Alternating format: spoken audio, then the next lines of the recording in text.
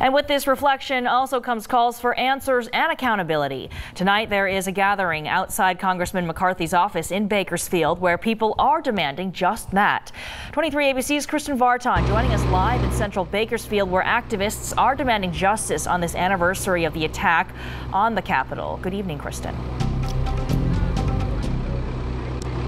Good evening, Keeley. Just an hour ago, we had local activists right here at Congressman Kevin McCarthy's office just outside demanding justice not only from him, but from Trump himself and his administration for what took place a year ago on January 6th, the storming of the Capitol. is something that really sticks with so many people a year later. And really here in Bakersfield, so many people are still grieving from what happened, including the Dolores Huerta Foundation. We have Dolores Huerta herself here today to tell us why this meant so much to her. Dolores, why was it important? You, your whole entire life, you've been really speaking up for justice. What was it about what happened a year ago that made you speak up today? Well, we know that our democracy right now is threatened by what happened on January the 6th. We want to make sure that it doesn't happen again.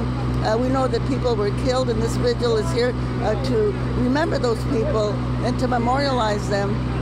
But at the same time, we are here at Kevin McCarthy's office because he has not done anything at all to hold anybody accountable. He is still supporting Donald Trump. He, he tried to shut down the investigation of January the 6th, and so we just want to remind everybody that we've got to hold McCarthy and all of those responsible for that insurrection on January the 6th And we also did hear from Kevin McCarthy. He sent us a statement today saying that he condemns any of the violence that took place a year ago. You mentioned, and so many of the activists mentioned today, that there is still accountability to be had. If Kevin McCarthy is hearing this right now, what do you want to say to him? I would say that he needs to cooperate with the investigation uh, so that they can find out who paid for this, who paid for the buses for the people to get there, who did the planning of this, and they, that they have to be held accountable, and, and all those that participated, and also Donald Trump needs to be held accountable. Because if we do not do this, we are not going to save our democracy. We all have to fight to save our democracy, and Kevin McCarthy has got to be held accountable for his actions.